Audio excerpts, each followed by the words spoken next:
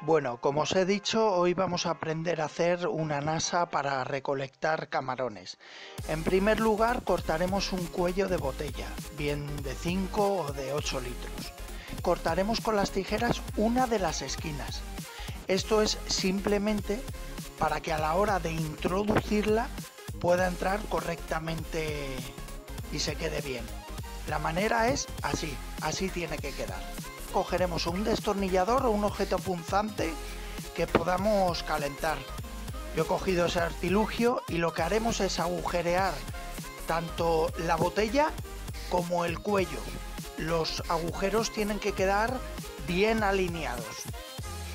El culo de la botella igual, esto es para que a la hora de sacarla del pozo donde la metamos, pues eh, el agua evacúe y no sea tan, tan pesada la, la NASA. He cogido un, alambre, cordel de, los chinos, me ha costado un euro para atender.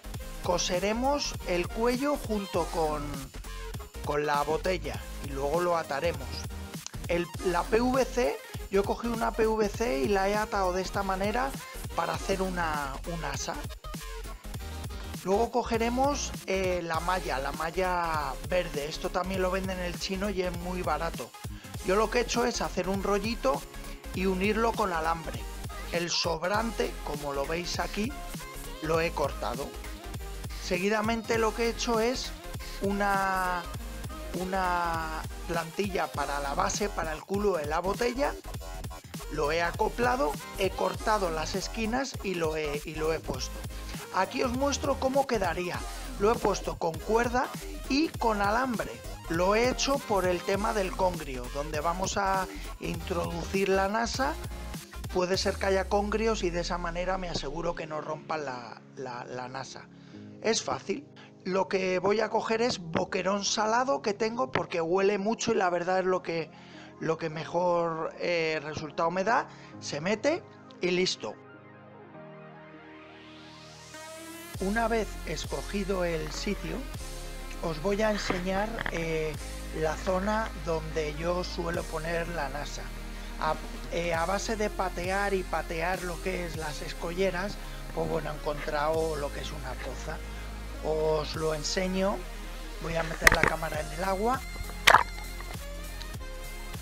Ahí está, ¿veis? Ahí, ahí al fondo está la, la NASA. Creo que es un buen sitio y nada, pues dejarla actuar y, esperar hasta, hasta el día siguiente. Importante que, la mar eh, no, esté, no esté demasiado brava. Ahí como habéis visto he dejado bien, bien sujeto el, PVC a una roca para que no se mueva. El estado de la mar es la que veis. Yo lo suelo dejar una noche. La gamba, el camarón, eh, todo este tipo de animales cuando más activos están es por la noche.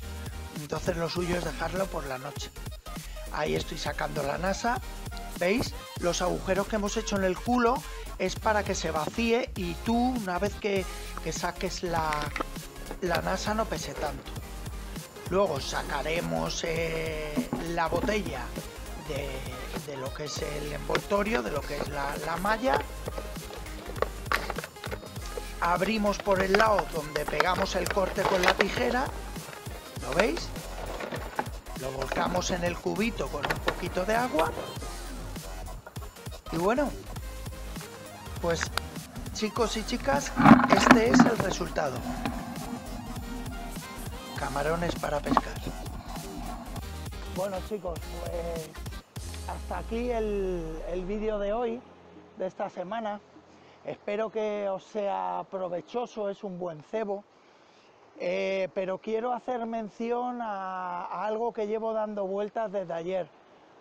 Los que lo hagáis, los que llevéis a cabo pues la recolección de, de gambas, de camarones, por favor que sea algo responsable, que no, que no sea eh, matar por matar. Coged única y exclusivamente lo que vayáis a, usar.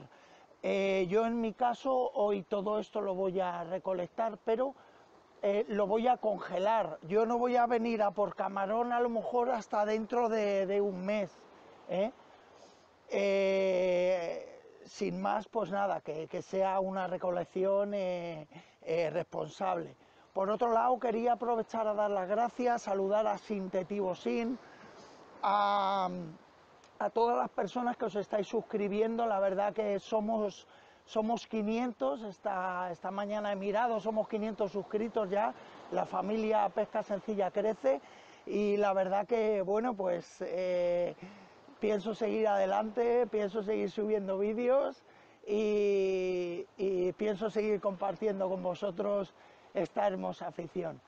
Pues nada chicos, espero que os haya gustado el vídeo esta semana y recordaros, como siempre digo, en pesca sencilla marcarás picada. Cuidaros.